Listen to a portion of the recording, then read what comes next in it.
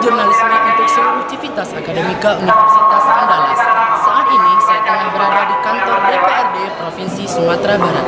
Tepat di belakang saya tengah berlangsung aksi 90 tahun Sumpah Pemuda yang dilaksanakan oleh Aliansi BEM Sumatera Barat.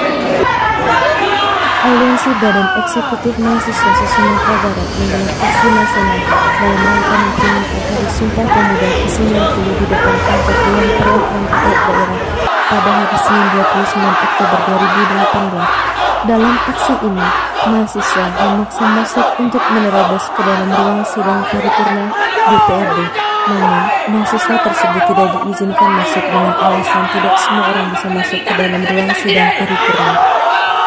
Momentum aksi memperingati Hari Sumpah Pemuda ini juga digunakan sebagai ajang bagi mahasiswa untuk memberikan beberapa tuntutan, yaitu menuntut pemerintah untuk mengembalikan subsidi listrik dan bahan bakar minyak, serta keseimbangan harga pangan, meminta pemerintah mewujudkan jaminan pendidikan nasional dan layanan kesehatan, serta tuntutan mengenai demokrasi. Pada aksi ini, mahasiswa juga memperagakan kinerja pemerintah terhadap janji-janji yang terrealisasi. dan tuntutan hari ini kita menuntut uh, bahwasanya hari ini demokrasi Indonesia tidak tidak berdaulat. Dan hari ini Indonesia sudah, sudah tidak baik-baik saja. Dan hari ini teman-teman BBSP bergerak atas nama rakyat Indonesia.